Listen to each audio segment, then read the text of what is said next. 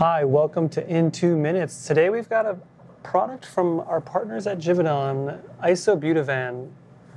Pierre, what do you know about this one? Ah, beautiful product, very unusual. Uh, and it literally belongs in that uh, uh, vanilla, vanillin space in, a, in a perfumer's uh, palette. Um, it's a it's a product that uh, essentially competes with uh, vanillin and ethyl vanillin in, in, in formulation. Um, and its uh, attributes compared to vanillin and ethyl vanillin is that uh, um, it is uh, less discoloring, especially in soap formulas. Uh, vanillin and ethyl vanillin are known to discolor uh, in those applications. Um, it is less powdery um, and uh, a, a, more creamy. Yeah. That would be the that would be the the comparo, um, and and uh, how this this uh, product places on a perfumer's palette. Um, it's usually formulated at uh, less than two percent.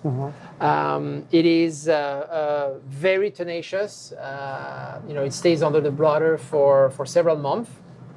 Um, quite substantive uh, uh, on on damp products. Think uh, wet laundry, for Yeah. instance.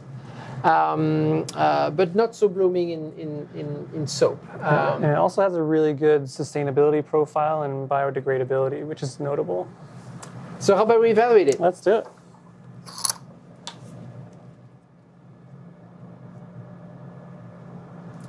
So right off the bat, we placed it into the vanilla space.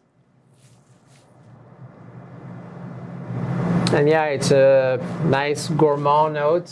Uh, What really hits me is the cream soda sort of uh, character to yeah, it. yeah, yeah. It's that vanilla, Kind of sweet, sweet, vanilla. uh, cream soda, um, hints of white chocolate. yeah, yeah.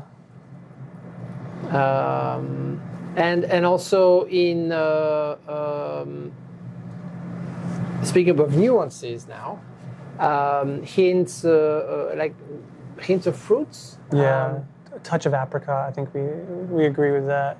Um, But just a But- tasty kind of gourmand Yeah. makes your mouth yeah, water a yeah, little bit, yeah. and so obviously, uh, again, compared to a vanillin or ethyl vanillin, this is this is uh, uh, this evaluation on the blotter um, comes across as a lot richer uh, Yeah. than just straight up vanillin. and I can see how it adds more of that creamy effect to it. Well, I hope you enjoyed that evaluation.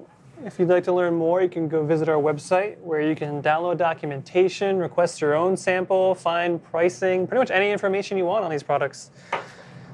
Thanks again for watching.